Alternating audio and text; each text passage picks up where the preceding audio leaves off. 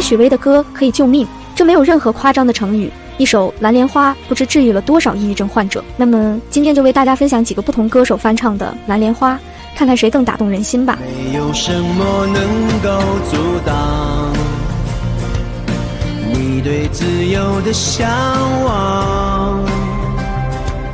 张恒远曾是中国好声音的亚军选手，他唱的《蓝莲花》让人记忆尤为深刻，一副男孩面孔，演唱视角却是一个向往自由的男人。时隔多年再唱，更是稳定自若。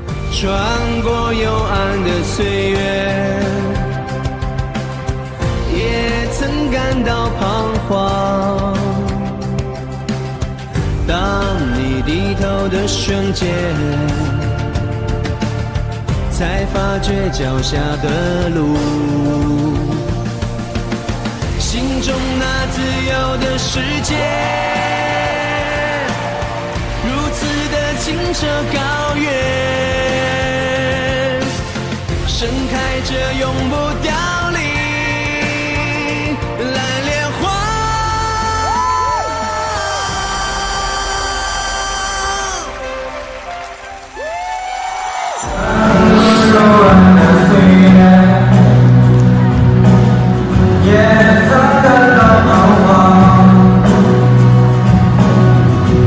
的这首《蓝莲花》还深受许多年轻人的喜爱，因为他们崇尚自由，向往自由辽阔的生活。在某毕业典礼上，一位学长献唱这首歌，就引发全场大合唱，并刷屏全网一唱成名。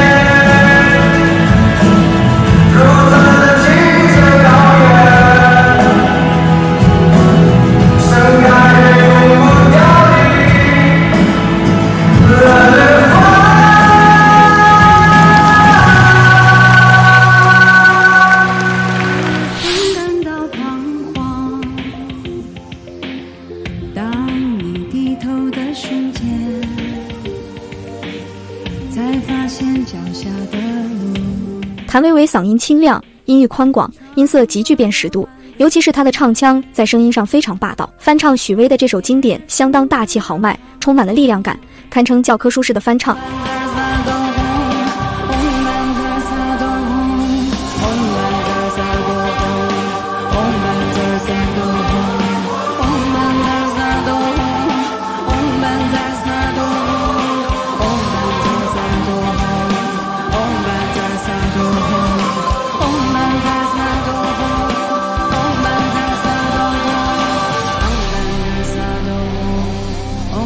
as I don't.